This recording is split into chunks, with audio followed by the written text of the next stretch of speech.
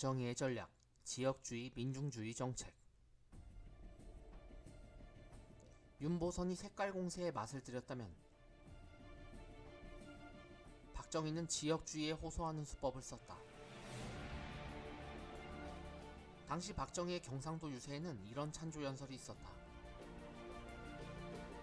신라 천년의 찬란한 문화를 자랑하는 고장에서 천년이 넘게 임금이 나오지 않고 있습니다. 박정희 후보야말로 신라 임금의 자랑스러운 후손이니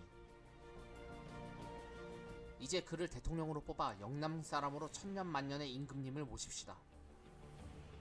지역 감정 선동과 더불어 윤보선을 귀족으로 몰고 박정희를 서민으로 부각시키는 민중주의 전략도 동원되었다.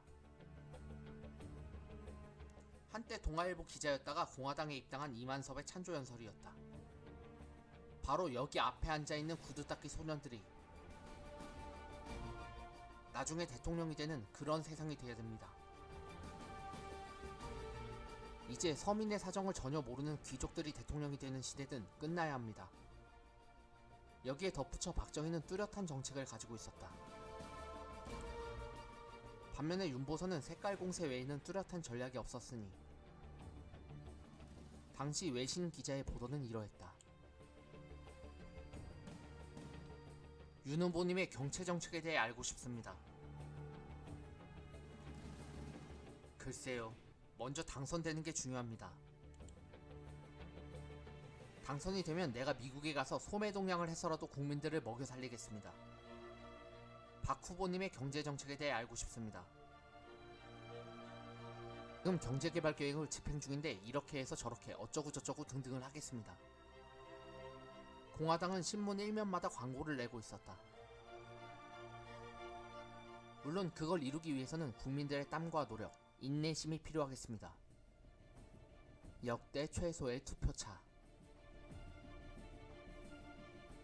군사정권은 선거를 위해 천문학적인 비용을 투여했다. 당시 우리나라 GDP가 20억 달러 정도였는데 63년 선거를 위해 착복한 정치자금만 최대 1억 달러까지 추정할 수 있기 때문이다. 군사정권의 대선 승리 과정 그래프이다. 4대 의혹으로 3천만 달러, 3분 폭리 사건으로 3,800만 달러. 여기에 일본으로 받은 자금까지 합치면 거의 1억 달러, 우리나라 GDP의 5%였지. 뜨아. 물론 이 많은 정치 자금 중 얼마를 썼을지는 의문이다. 반면에 야당은 62년도 통화개혁을 통해 정치 자금줄에 커다란 타격을 받고 있었다. 때문에 자금력으로 따진다면 박정희의 압승이 예상된 선거였다. 특히 농촌에 밀가루를 배포해 밀가루 대통령이라는 별명이 붙었었다는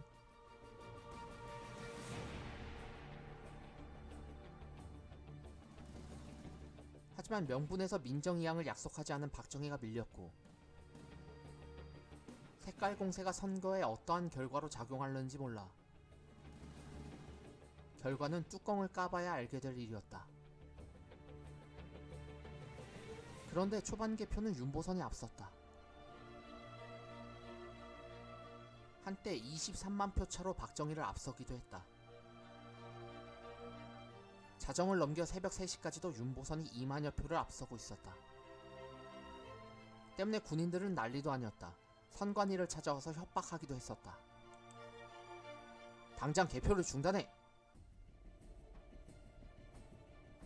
다음날 오후가 되면서 박정희가 역전을 시작했기에 망정이었지. 그게 아니었으면 무슨 일이 일어났을런지도 모른다. 당시 중앙정보부장이었던 김영국의 회고이다. 주위에서는 무력을 동원해서라도 개표를 중단시켜야 된다고 했고 변전소를 파괴해서 암흑세계로 만들어 표를 바꿔치기 하든가 군을 출동시켜 비상사태를 만들어 선거 무효를 선언케 해야 된다는 주장이 나오고 있었다. 그러니 박정희가 역전을 했기에 천만다행한 일이었다. 선거의 결과는 이러했다. 선거 결과의 그래프이다. 박정희 46.6%, 윤보선 45.1%로 표차는 불과 15만여 표 차이였다. 때문에 윤보선이 군소 후보 중 어느 한 후보와 합세했더라면 윤보선이 당선될 수도 있는 급박한 상황이었다.